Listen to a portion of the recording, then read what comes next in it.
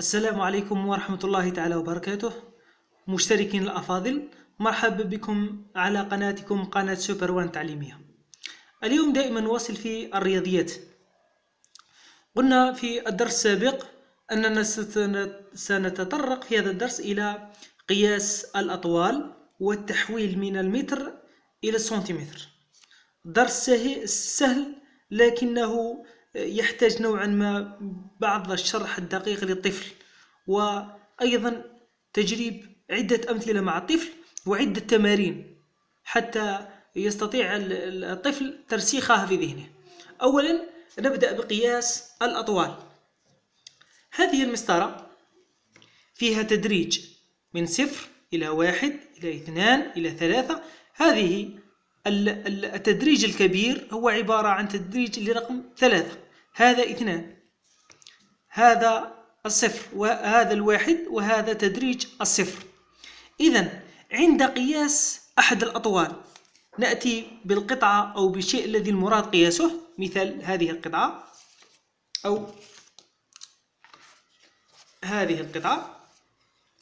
نقوم بوضع التدريج الصفر في بداية الشيء المراد قياسه ولا نضع المسطرة بهذا الشكل أو بهذا الشكل وإنما بشكل مستقيم مع الشيء. ونضع التدريج في الصفر. ركزوا جيدا. التدريج الصفر يكون في بداية الشيء بدقة. ثم لا نقوم بميلان أو تمييل المسطرة تحت أو فوق الشيء المراد قياسه وإنما بالضبط مع الشيء المراد قياسه إذا هنا هذه قياسها عشرة ونصف والطفل دائما نضع له شيء ثابت عشرة إحدى عشر وهكذا دواليك نعود الطفل على قياس الأشياء. قس لنا مسطرة قس لنا القلم قس لنا أو نقوم بقص قصاصات صغيرة مثل التي التي أمامكم هكذا. ونضع على شكل أشكال تمارين. الطفل يحب الأشكال جيدا ويحب العمل بيديه. نقوم بقص أوراق بأطوال مناسبة تماما حسب تدريج المسطرة إما ثلاثة إما أربعة إما خمسة هكذا. التدريج يكون دقيق. نقص عبارة عن مستطيلات وأيضا مربع. يحتاج دروس فيما بعد للمربع وكم أطوال آه، أضلاعه هكذا مستطيل. أيضا نقوم بمثال التمرين على المربع. نعطيه تمرين بهذا الشكل ونقول قس الأطوال. يذهب إلى التدريج بالمسطرة يضع الصفر في التدريج الأول. هنا ستة.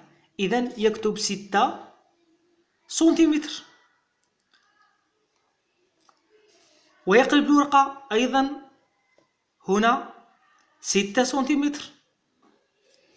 هنا أيضا ستة وهنا أيضا ستة.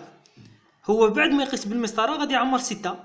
ويوالف على كلمة سنتيمتر. إذا السنتيمتر هي وحدة من وحدات المسطرة. مفهوم؟ مفهوم. من نتوقفوش عند شكل واحد نضعفوا له أشكال. مستطيل. هكذا. تمرين ثم تمرين ثم تمرين. حتى نرى الطفل بأنه قد استوعب الدرس وقد فهم الدرس جيدا. هذا بالنسبة للأطوال. نقدر ندير له أشكال أخرى مظلعات وأشكال أخرى. يمكن يجي السؤال بهذا الشكل. في الدرس يكون سؤال بهذا الشكل. طول القلم. القلم. ويرسم له قلم. عفوا يرسموا له قلم يقولوا شحال طول القلم ويديروا له نقاط سنتيمتر. وهو يقيس طول القلم. احتمال يكون السؤال الآخر بهذا الشكل. أه، رتب رتب الأطوال حسب أه، الأشكال أو المواد. مثال هنا نكتب القلم خزانة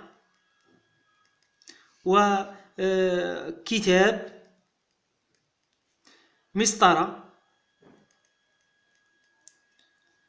ويضعون عشرين سنتيمتر ثلاثة عشر سنتيمتر آه، مئة أو مئتين وأربعون سنتيمتر. وهكذا. باش يربط عشرين سنتيمتر وهي مسطرة عشرين سنتيمتر ثلاثة عشر سنتيمتر وهو قلم خزانة مئتين وأربعون وكتاب أيضا. هكذا يكون تقريبا الأسئلة المتمحورة في الأطوال. ننتقل الآن إلى التحويلات.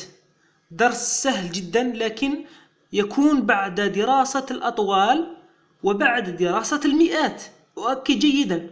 إذا كان الطفل مازال ما تتأكدش باللي المئات يعرفهم جيدا وعن ظهر قلب ما ديرولوش الدرس هذا رجاء. رجاء رجاء خلوه يحفظ المئات جيدا. ويكتبهم بطريقة سهلة ثم يقيس الأطوال ومن بعد نروحوا له الدرس هذا. رجاء من الأولياء. ما تقروش ولادكم الدرس هذا حتى يعرفوا المئات جيدا وحتى يعرفوا قياس الأطوال. رجاء. الآن نذهب إلى قياس الأطوال. قلنا السنتيمتر عشرة سنتيمتر ثم عشرة سنتيمتر ثم عشرة إذا شحال من عشرة؟ عشر عشرات. وهي تساوي شحال؟ مئة. مئة سنتيمتر. مئة سنتيمتر هي واحد متر. هذا قانون وما نفصلوش فيه. مئة سنتيمتر هو واحد متر. إذا يكون السؤال هكذا. واحد متر و عشرين سنتيمتر. كم يساوي من السنتيمتر؟ بكل سهولة الواحد متر هو عبارة عن واحد مئة. واحد متر هو واحد مئة. إذا الواحد مئة نكتب هنا مئة. واحد ميم هي واحد مئة. واحد متر هي واحد مئة. مئة سنتيمتر. مئة سنتيمتر زائد عشرين سنتيمتر. الثانية يكون كم يساوي مئة زائد عشرون؟ إذا كان يعرف مئة زائد عشرون اللهم بارك. إذا كان ما يعرفش يدير عملية. مئة زائد عشرون وتساوي مئة وعشرون. مفهوم؟ مفهوم. نضيف تمرين آخر. إذا ثلاثة متر زائد و خمسة وأربعون سنتيمتر. كم يساوي من متر؟ قلنا ثلاثة متر أو ثلاثة ميم هي ثلاثمائة إذا تساوي ثلاثمائة زائد خمسة وأربعون دائما الوحدة هي هذه سنتيمتر. وكم تساوي؟ إذا كان يعرف كما قلنا ما يعرفش يدير عملية ثلاثمائة زائد خمسة وأربعون. صفر زائد خمسة يساوي خمسة. صفر زائد أربعة أربعة. ثلاثة زائد لا يوجد شيء إذا يساوي ثلاثة. الآحاد تحت الآحاد العشرات تحت العشرات المئات تحت المئات دائما أؤكد على هذا الشيء.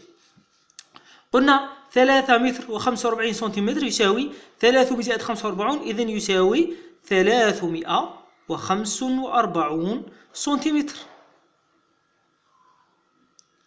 نضيف مثال آخر.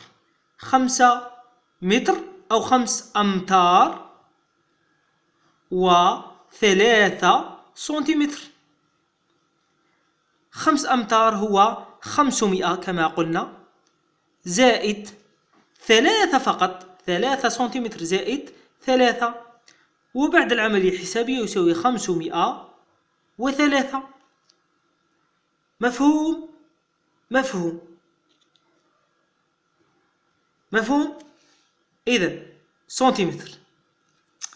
إلى هنا الدرس واضح. أي إشكال واجهته مع التلميذ؟